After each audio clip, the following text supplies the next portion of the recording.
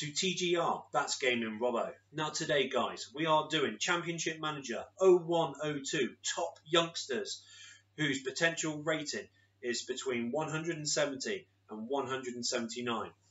So whilst we're looking through all these players guys, these are factual on this game that these guys are rated between these levels. Now, just before I do start the video, please make sure if you do like this video, smash a like on the video. And if you are new to our channel, hit that subscribe button on that blue box down there. And of course, make sure you do hit that notification bell as well. Apart from that, guys, hope you enjoyed the video and I hope you're all staying safe during these horrible times. Apart from that, guys, let's start the show.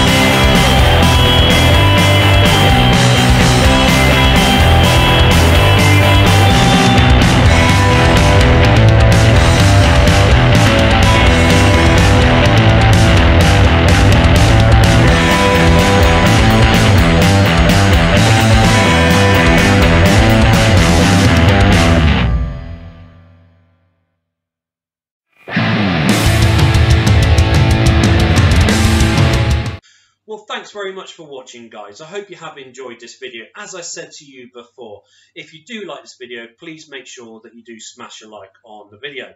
And of course, if you think it is informative, brilliant. That's what I want to do at the end of the day. If you do have any comments, please leave a comment below, guys. I, I, as you can all see, I make sure that I answer to each and every one of your comments. So please don't, you know, please, you know, do do comment on our videos. And of course, like I said before, if you are new to our channel, guys, please make sure that you do subscribe to our channel and you do hit that notification bell as well. Apart from that, guys, I hope you're all staying safe, and I look forward to seeing each and every one of you here at TGR, that's Gaming Robo, at our next video. Take care, guys.